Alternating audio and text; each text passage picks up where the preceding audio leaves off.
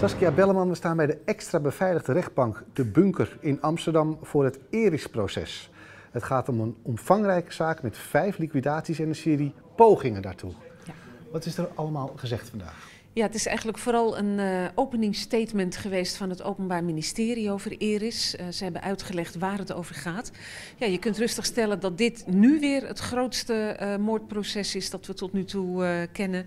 Je hebt het proces Marengo met 17 verdachten. Nou, hier zitten 19 verdachten in de verdachtenbank. die zouden betrokken zijn geweest bij vijf liquidaties in een half jaar tijd in 2017 en maar liefst elf moordopdrachten en verschillende gevallen van afpersing en bedreiging. Dus ook bij dit proces weer sprake van een echte kroongetuige? Ja, er is ook net als bij Marengo in dit proces sprake van een kroongetuige. In Marengo is dat Nabil B. En hier is het Tony de G. Uh, die zal de komende drie weken vooral uh, verhoord worden.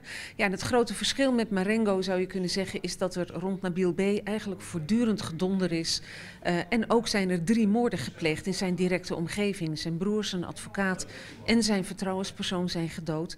Ja, je kunt, je, je kunt eigenlijk zeggen dat uh, rond Tony de G eigenlijk geen ophef is tot nu toe. De verhoren verlopen rustig. Hij heeft heel veel verklaard. Uh, hij wordt zelf ook verdacht van betrokkenheid bij uh, een levensdelict. Maar hij is toen de verdenking op hem viel en hij werd aangehouden, overgelopen naar de kant van justitie. Is meteen gaan verklaren. Nou, dat heeft al vrij snel geleid tot de aanhouding van de twee hoofdverdachten. Dat zijn Delano R. Uh, en Greg R., uh, beide hoofdpersonen in de inmiddels verboden motorclub Calowago. Nou, het Openbaar Ministerie verdenkt deze twee mannen ervan als een soort moordmakelaars te hebben gefunctioneerd.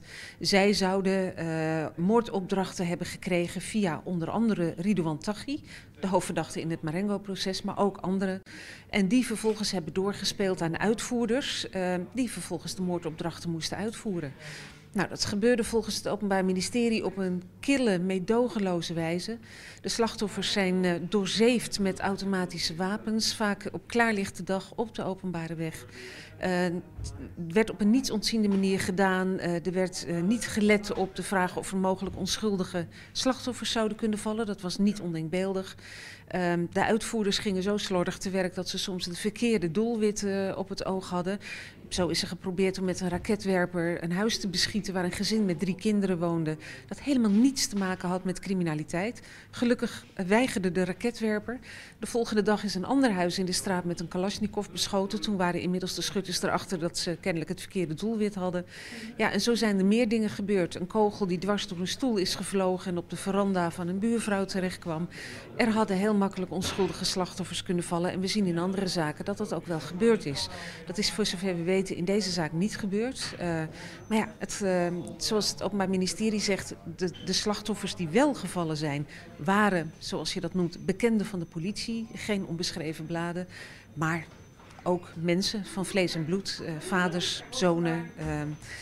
Partners van, uh, van vrouwen die, uh, die toch hun uh, geliefde kwijt zijn. Dus ja, voor die nabestaanden blijft het gruwelijk. Uh, dus ja, dat uh, uh, proces gaat zich uitstrekken over 64 dagen maar liefst. En de, de, de rechtbank verwacht ergens omstreeks begin van de zomer van 2022 uitspraak te kunnen doen als alles volgens plan verloopt.